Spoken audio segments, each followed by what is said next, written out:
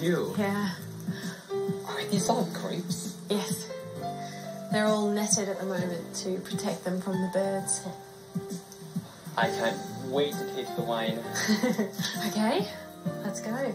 The wine is waiting for us.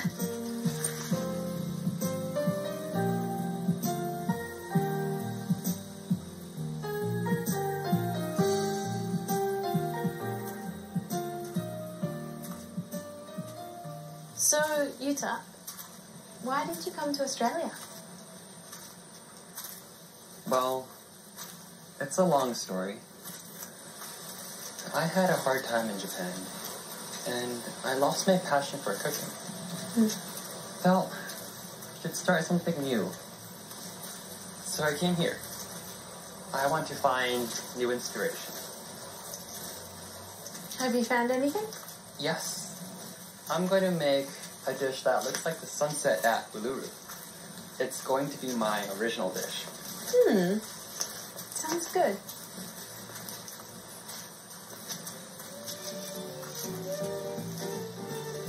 Wow.